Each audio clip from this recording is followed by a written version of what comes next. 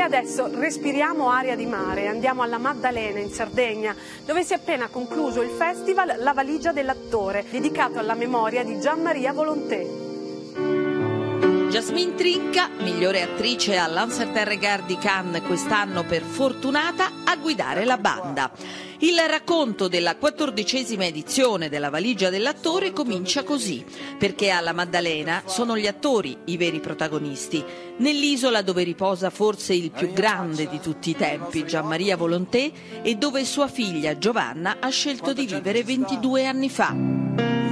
Ho capito che, che, mi sarebbe piaciuto mandare avanti una manifestazione annuale qui sull'isola dedicata al lavoro d'attore superando eh, Gianmaria e rivolgendomi anche eh, alle nuove generazioni di attori proiezioni e incontri, ma il cuore del festival è il Valigia Lab, 12 giovani talenti che arrivano ogni anno dalle più importanti scuole di recitazione italiane e che per una settimana, grazie a borse di studio, danno concretezza al sogno di recitare.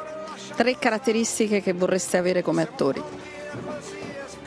Vorrei essere onesta e emozionante non prendersi troppo sul serio, nel senso prendere molto sul serio quello che fai ma non te stesso. La generosità è fondamentale, darsi, darsi senza vergogna, senza timore. Il prof di quest'anno è stato Michele Riondino, premio Gianmaria Volonté 2017. La valigia dell'attore, questo festival in particolare, è un festival che, che, che si concentra sul lavoro dell'attore ed è di particolare interesse anche emozionati in, ma in maniera particolare stare qui, sia perché è la terra del penso più grande attore sia esistito in Italia. Ci incontriamo qui e facciamo parte della stessa famiglia e tornare alla Maddalena significa un po' come tornare per le feste comandate. Lo stesso premio consegnato nel 2015 a Jasmine Trinca, finora l'unica donna vincitrice che vedremo in giuria a Venezia e che riconosce su tutte una lezione di volontà